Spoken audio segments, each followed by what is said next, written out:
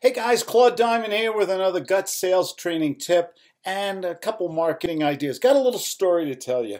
My son lives up in uh, Cheyenne, Wyoming, uh, up there. He's a business manager, and my wife and I thought we'd drive up from Colorado, about a three and a half hour drive to help him move. He's moving to Laramie. And um, so while we're moving and we're packing up the van and everything, mom says, Hey, check the um, check your mailbox, okay? And he says, Yeah, I better do that. And he goes into his mailbox, and there's a letter from his mother from about three and a half, almost four weeks ago. My son's 25 years old.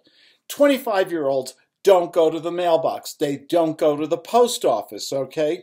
And um, you just better understand that they do everything through this little device email, texting, all communication, Snapchatting. It's all done to this. The post office just doesn't have the same focus for them as it would be for somebody who's a little older. All right. So that's fact number one with a little story. Fact number two I'm talking with a client today in Texas. This uh, client has done a mailer, did a thousand mailers um, about 10 days ago. He had three or four responses from 1,000 mailers. 1,000 mailers, stamps, envelopes, labor, just didn't work. You didn't get the response that's working. So I just want you guys to know it's not that I'm against mailers, okay? When you do a mailer, make sure you A, have a really good list or use your opt in list, okay? Be careful of these lists you buy, they're just a waste of money. Number two, when you do mail a list, make sure the card is a great,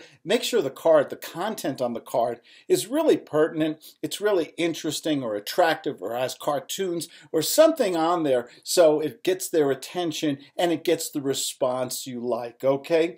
Um, and number three is back to my original story on my son David. Anyone under the age of 35 just doesn't have a priority with the post office anymore.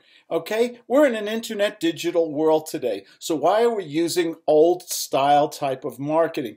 If you're going to do that kind of marketing, get a good list, get a good mailer, and make sure you get your money's worth because too much money is being wasted on marketing today.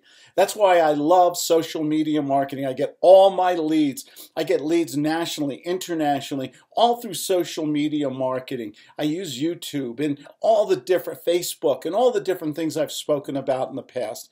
And so guys, make your marketing money work for you, okay? Is you work too hard for your uh, for the leads to waste money and throw it away. This is Claude Diamond with another. I'm not against the post office. I'm just against wasting money in marketing. This and this is another GUTS sales tip and nobody nobody deserves success more than you guys. Take care. Have a nice safe holiday weekend. Bye-bye.